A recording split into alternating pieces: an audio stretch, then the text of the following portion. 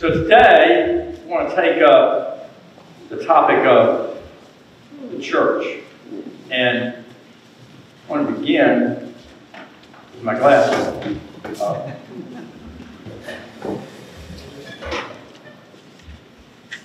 uh, let's, let's, let's do a little role play. Let's assume you've got a friend out of town. And um, the friend knows you attend the church here. Uh, your friend is not a churchgoer. And your friend wants to know um, a couple things about the church. The first is this friend is asking you to tell, tell him or her what is important to you about this faith community, the one you attend. Uh, and you're going to write a letter back to them. What? There are no right or wrong answers here, folks. Okay? It's it's what is important to you about this place um, that that brings you here. What are some of the things? Feel love. Feel love. We welcome all. Welcome all. Okay. This is a big thing. Okay. Welcome. Okay. What else? Feels like a home place. Feels like a home place? Holy. Holy place. Okay, good. I like that one better.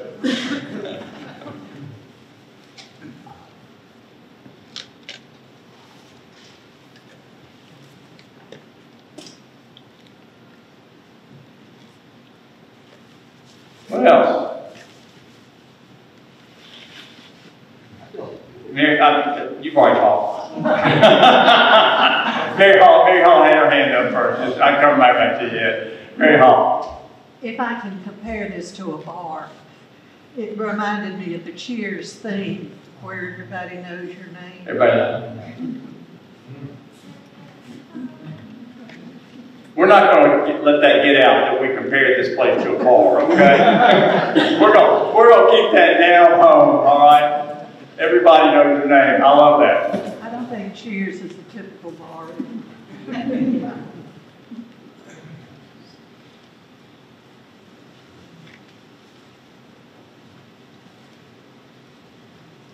Okay. Ed. I was a wise guy. I tell people to preach, I'm a little. Well, that, there you go. That's important to some of my What else? Yes, Leila. Feel God's presence. Feel, feel God's presence? Okay.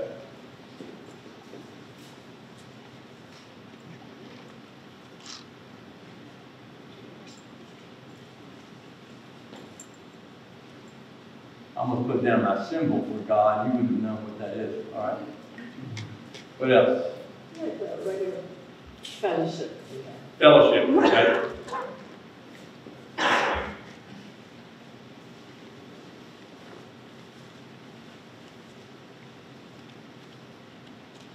All right, who else? Who else got that? Music. Ah, music, there you go. Put another adjective on there. Inspiring, maybe? Yeah, that, that's just what I was thinking. Inspiring music. I know what you mean.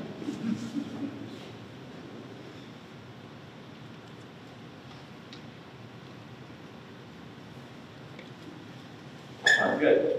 What else? Activities for all ages. Uh, mul- multi-generational. All right, love that.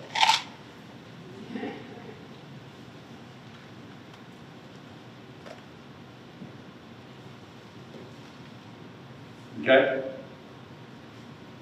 Anybody else? Now, your friend has a second question. You're going to address this in the same letter. What could be done to improve the faith community? Um, if, if, if the answer is a new priest, that's okay. That's okay. Uh, what, what are your ideas and thoughts? And it's, by the way, improvement doesn't necessarily mean criticism, folks, okay? I got ideas, but I want to hear yours. More involvement in leadership or volunteers, more volunteers? For volunteers, okay?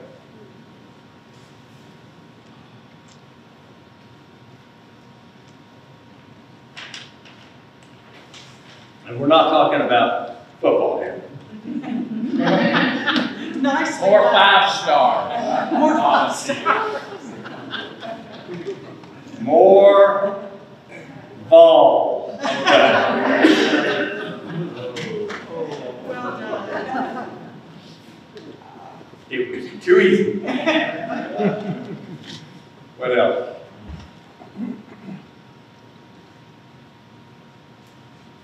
Really? Y'all, yeah, there you go. More children. More children, okay.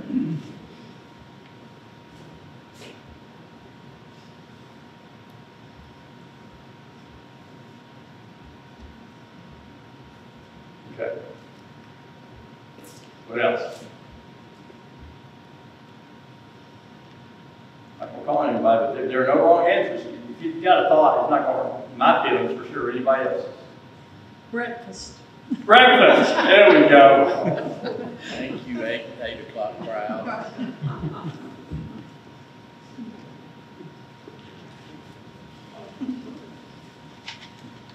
What else, folks? Anything? All right, so, I caught you off guard. I realize that. My guess is you'll go home tonight and say, I know some things that we could do, but, but the, the point is, um, if you take these answers, um, what you have is the beginning of your vision of the church. Your vision, you know, if, if, if, if you talk about things you like and the things you'd like to see changed, tweaked, improved, whatever, then that's a, that's a jumping off point to talk about your vision, our vision, if you will, of the church. And so today, we're going to talk about Paul's vision of the church. We'll be looking, of course, it, this, this vision reveals itself throughout all his letters, but we'll be looking primarily at, well, we'll be looking at two of them, really, Romans and First Corinthians. Ultimately, we'll be looking mostly at, at First Corinthians. First of all, Paul in his letters uses uh, the word ecclesia. Ecclesia doesn't mean church, it means assembly, because there weren't churches at the time. Remember when Paul was writing, there weren't church buildings. All of, all of these assemblies, the ecclesia, were gatherings in people's homes, usually the homes of, of leaders. And um, we're going to be taught, something important to Paul was ecclesiology, or the doctrine of the church. And another term I want to familiarize you with is soteriology. That's the theology of salvation. And these two are important because as we'll get to it then, we'll see that for Paul, ecclesiology and soteriology are, are, are pretty much synonymous. They, they blend together. Um, and this fits with Paul. It's important. This is an important aspect of Paul's vision of the church. So, first of all, who, who, who, who makes up the church? Well, for Paul, baptism is the, is the, is the, is the gateway, if you will. It's the boundary separating those who are in or out of ecclesia. Uh, baptism, in the sense of a ritual act, yes, but also um, it's the moral behavior that's associated or supposed to spring from baptism. That's the true hallmark of, of membership for Paul. Also, it's important to understand that Paul, ecclesia is an intentional community. By this, I mean uh, it's dependent upon commitment of the members. It's not a it's not a natural community that that would spontaneously occur. It's not like a family, right? it's, it is, it is a community that is bound together because of commitment among the members. And we, we've all heard about Paul's concern for building up within the church, building up by way of mutual exhortation and example. That's one example of what Paul says. Paul, knowing that these ecclesia, these churches, are intentional, uh, intentional communities, knows that they can fall apart. When people, be, when people lose their commitment, they fall apart. Family is a family. Now, it can, it can certainly have, be frayed at the edges, but it's only the commitment that holds the people together within the ecclesia. So, I talked about Paul's metaphors for the church because it reveals something about his vision. Uh, agricultural. This is in 1 Corinthians. Paul says, I planted, Apollos watered, God gave the growth. So neither the one who plants nor the one who waters is anything, but only God who gives the growth. The one who plants and the one who waters have one purpose, and each will receive wages according to their own labor. We are God's co-workers working together. You are God's field, God's building. Notice that in this metaphor, the church is a living thing. It is a growing thing. And it is a thing that in order for it to thrive needs tending. It needs maintenance. It needs nurturing. It needs love, just like, just like a garden. You can't plant a garden and then let it go. It needs to be tended. Um, finally, here, Paul makes it very clear that, that God's role in the ecclesia, in the community, God's involvement is foundational. Uh, and God depends on us to do our part. Now, I'm tempted to say it's a symbiotic relationship, but one is, in the symbiotic relationship, one side is dependent on the other. And I like, I like how my, my mentor and, and priest hero, John Claypool, used to say this. God looks to our involvement and requires our involvement. And so John would say, without God, we cannot. Without us, God will not. We can't do without God. God can do without us, but God chooses to require our cooperation in many, many things, by the way, but certainly with respect to the, the planting, the nurturing, the growing of a church, of a, of a, of a community, of an ecclesia. So that's the first of Paul's. The second is family. And we see a couple of uh, references to Romans here. For those whom he foreknew, he also predestined to be conformed to the image of his Son, in order that he might be the firstborn within a large family. I feel myself confident about you, my brothers and sisters, that you yourselves are full of goodness, filled with all knowledge, and able to instruct one another. Now, as an aside, I wanted to crop it out. I wanted to just leave it out, but I couldn't do it uh, intellectually honestly. Uh, when I see the whom he foreknew, he also predestined, uh, that uh, I've got issues with that. Call on Steve Averitt if you need it. I got real issues with that. But that's not what we're talking about here. So if we want to have that discussion, we can have that discussion, but it's going to be on another day and another time. The point here is uh, we have son, the firstborn within a large family. We're talking here about the metaphor of a family. Uh, and then, brother, again, here, brothers and sisters instructing one another. Uh, so, what do we what do we think about when we think about family dynamics? What do y'all think? What's the all right? Let's do this. What's the good in family dynamics? Love and support. Love and support, okay, what else? Loyalty, Loyalty, thank you. What else? Tight knit, uh, ties that bind even when there's a conflict, all that. Yes, but there's also the bad side about family. When you think of bad in, in family dynamics, what do you think?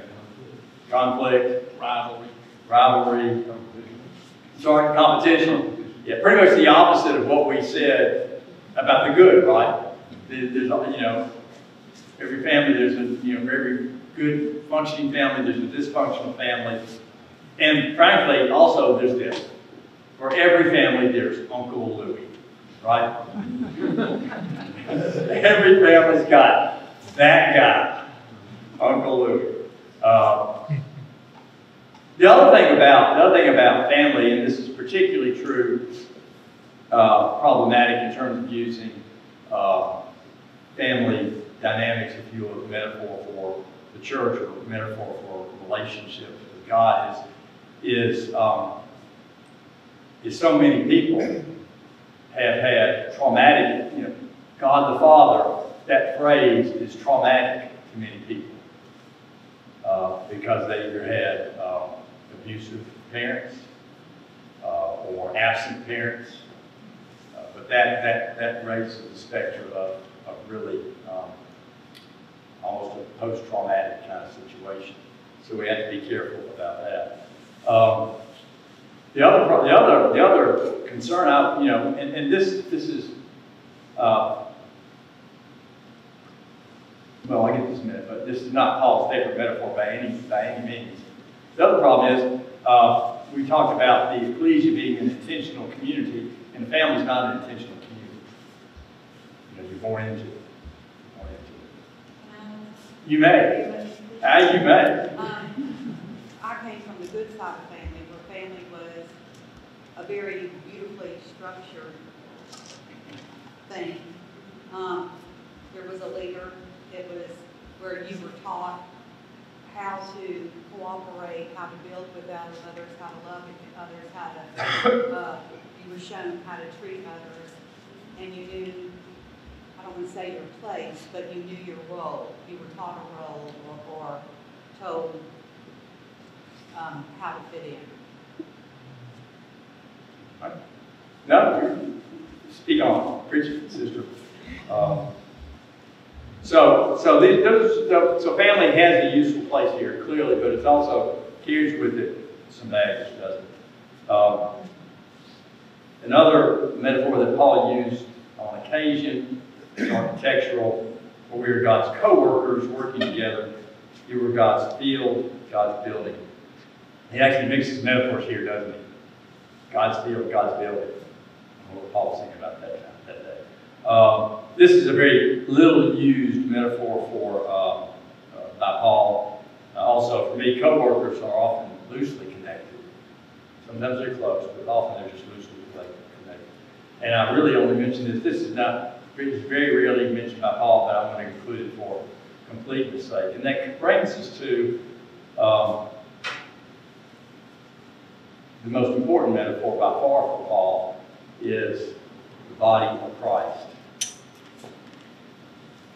For just as the body is one and has many members, and all the members of the body, though many, are one body, so it is with Christ.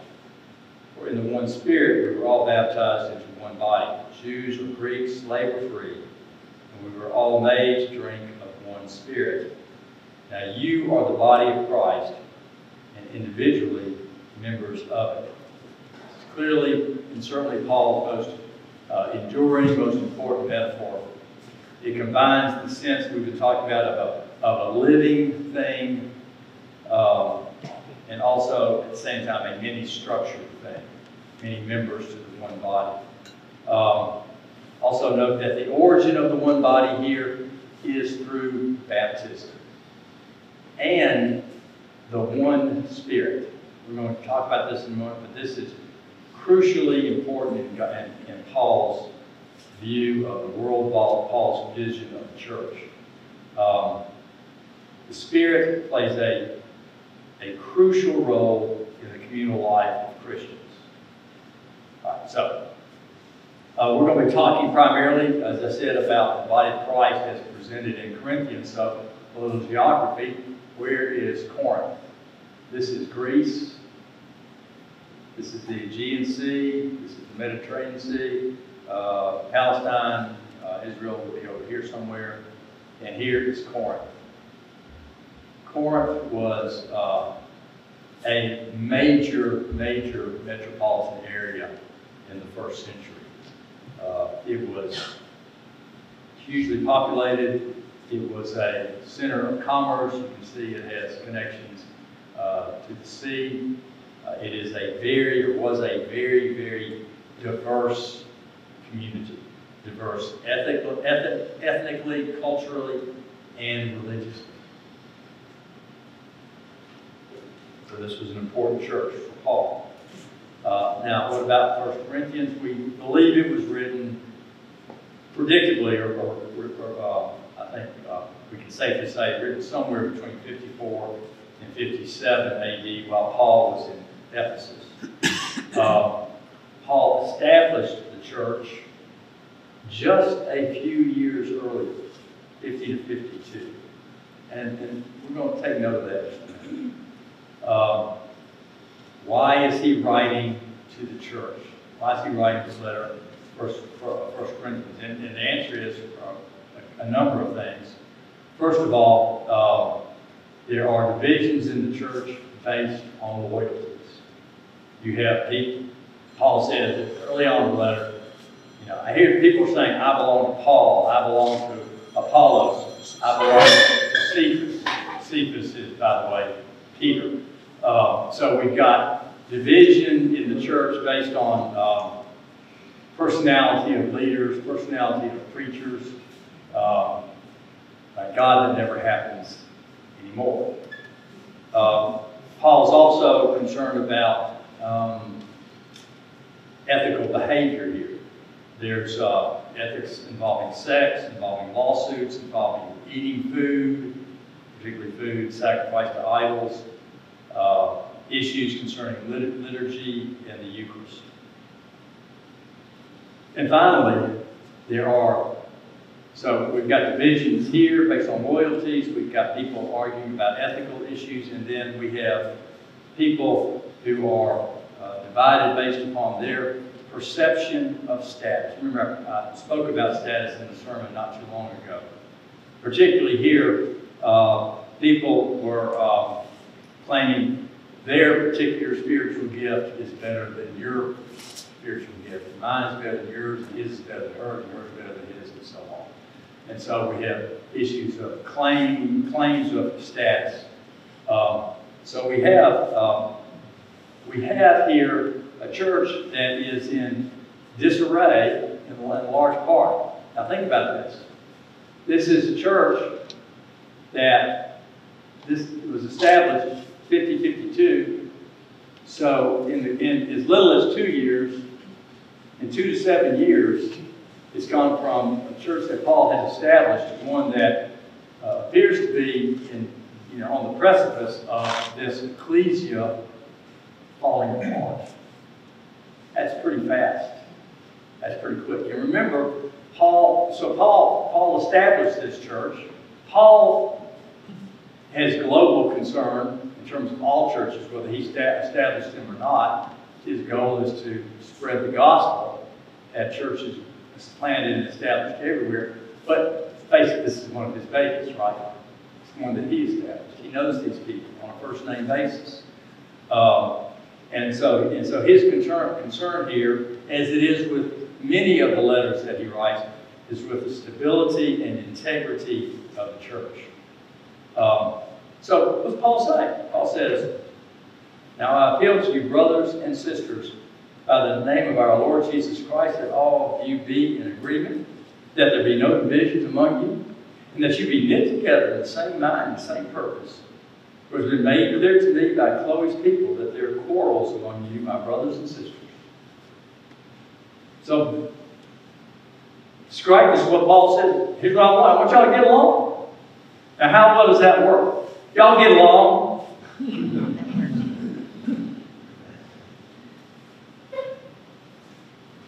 Didn't work too well for my mama.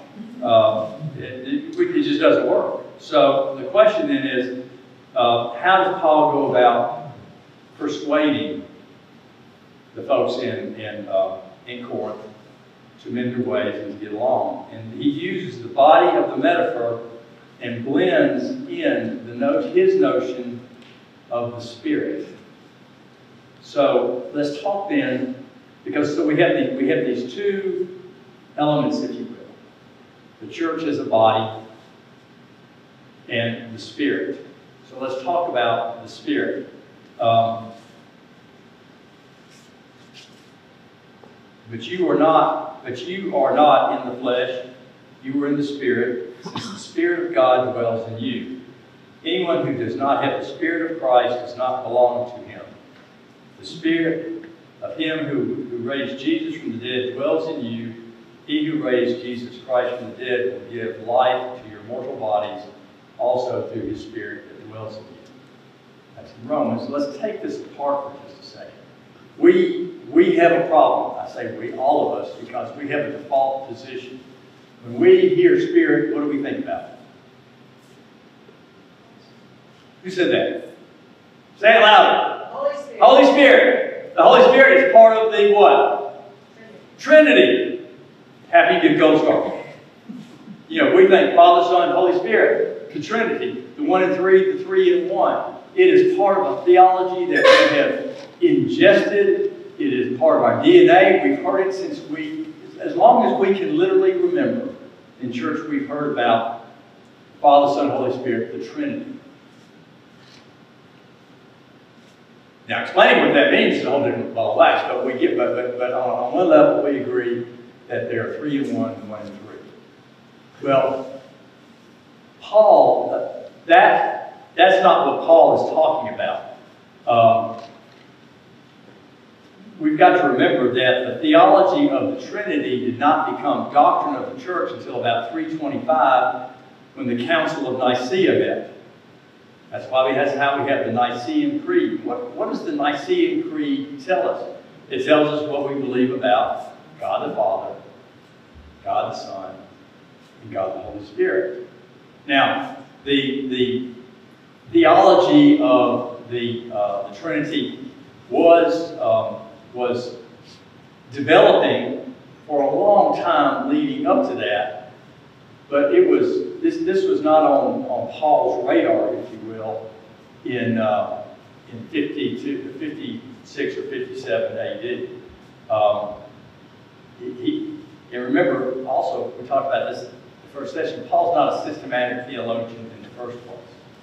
So, um, for Paul, Paul, remember, faith for Paul is not a conscious decision. It's not a rational decision. It's a way of life that springs from an authentic experience with the risen Christ. Remember, he traces this back to the Damascus Road event. And he, every, he wants everybody to have that experience. Um, and so, and Paul sees the experience with Christ mediated through the, the, the Spirit. It is the Spirit that provides the energy, that connection between the risen Lord and us as individuals. And so, um, now, now, and so Paul, when he uses the Spirit, and by the way, the word Spirit, when we see it, it's translated from the uh, from the Greek pneuma. Think of pneuma, breath. Think of the, you know, your your your your. What's what's the word for the lungs? Uh, it's related to pneuma as well. Anyway, it's it's it's related to breath. And he uses the spirit of pneuma in many ways. It's sometimes it's God's presence and power acting among humans. It's the power that enables energy to connect to us to Jesus' resurrection.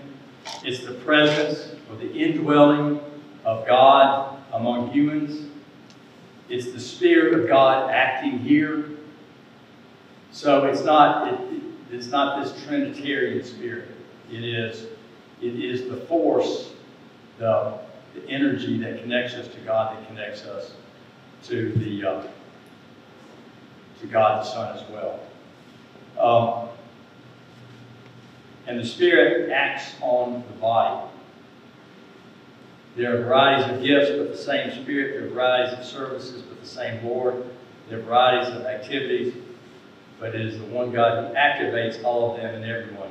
Each is given the manifestation of the Spirit for the common good.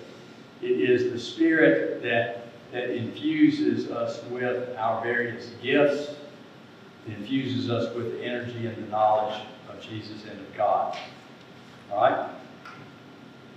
Um, it's present in the activities of the community. To one is given through the Spirit wisdom, and to another knowledge, according to the same Spirit. To another faith by the Spirit. To another gifts of healing by the one Spirit.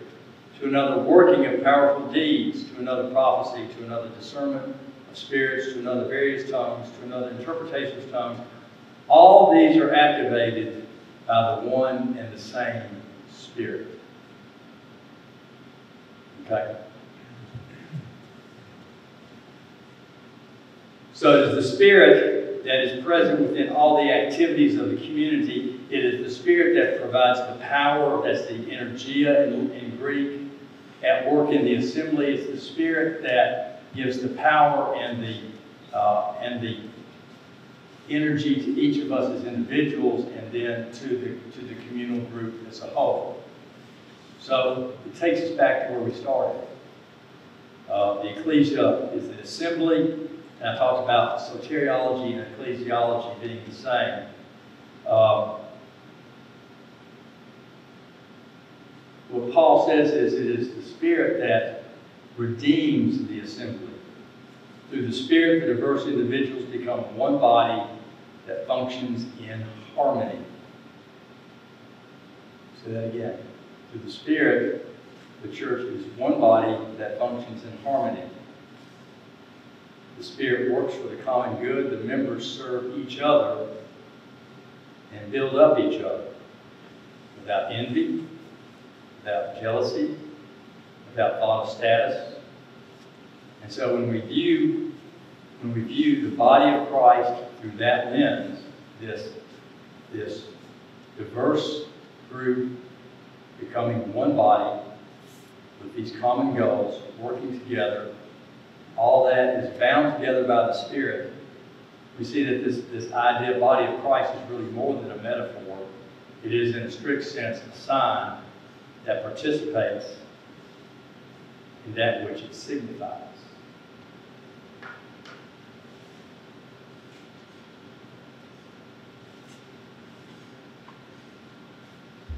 This is a far cry, isn't it, from a place we go on Sunday to hang out to worship, even though we're together. This is a vision of an assembly that worships together, that does what we did today together, that has meals together, that works together for a common goal, that puts jealousy, envy, status aside.